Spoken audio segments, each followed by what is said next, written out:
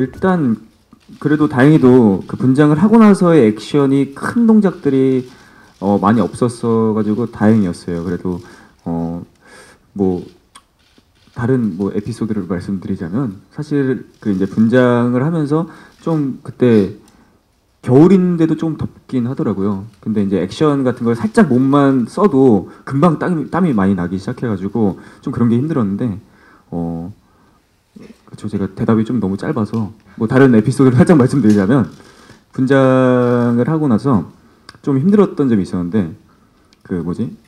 핸드폰이 요즘에 안면 인식으로 풀리잖아요 비밀번호가. 근데 어느 날 그걸 하고서 이걸 하려고 그러는데 저를 못 알아보더라고요. 네 그래가지고 그게 조금 불편했던 그런 기억이 있습니다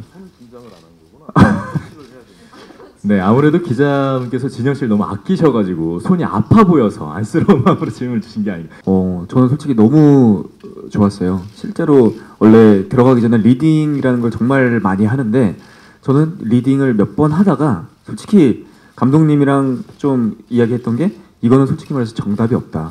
왜냐면은 다른 사람의 연기를 하는 거기 때문에 어, 딱 정답이 없는 거죠. 그래서 감독님이랑 리딩을 하다가 중간에 그만두고 영화 찍으면서 한번 촬영을 하면서 부, 부딪혀 보자라고 하시더라고요.